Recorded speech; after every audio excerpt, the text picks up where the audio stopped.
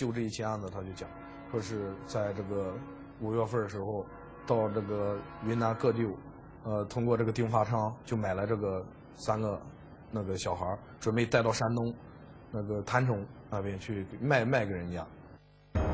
至于要将孩子卖到哪里，这几人均声称他们是第一次作案，还没有明确的买主。可是，这个郎春燕在审讯过程中表现出的种种迹象，却让人觉得疑点重重。手法手段比较老练，不像是新手，绝对不是第一次，对吧？背后可能隐藏着，哎，这个大量的犯罪事实。乘坐火车来，呃，转运这些被拐的妇女儿童。呃，因为目前咱们国家的铁路交通运输还是比较发达，啊，在很多地方啊都是有铁路的，呃，对犯罪分子来讲，这是一个比较价格低廉，呃的一种运输方式，而且在本身在火车上这个时间是比较短的，呃，能够查清这个孩子是不是他的，是不是被拐来的，是有难度的。据郎春燕交代。给他们提供婴儿的上家是云南的刀秀芬和丁发昌，警方下一步的工作就是要追查出贩卖婴儿的源头。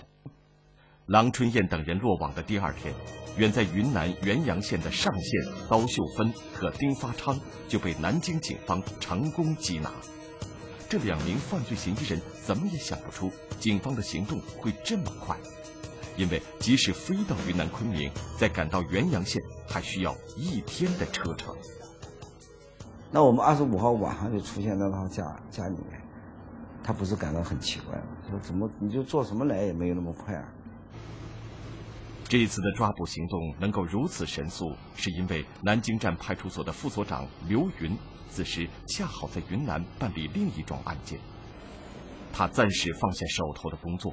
快速赶到元阳县，配合南京方面的行动。我立马就把手上的事放了以后呢，就带着两个人，连当天就赶到这个呃元阳。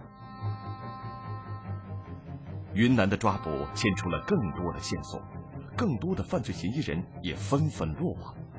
种种细节表明，这伙贩卖婴儿的人贩子作案绝非偶然。呃，他们对这个婴儿的称呼是什么？就是称呼叫小霍，在手机短信上面就这样写的，就是你比如说我这边有一个小霍，呃，今年三岁啊，或者今年两岁啊，或者是几个月啊，你看你要不要？他，我当时我们抓到那个嫌疑人的时候，他手机上很多这种短消息。刀秀芬和丁发昌的落网，让民警更加。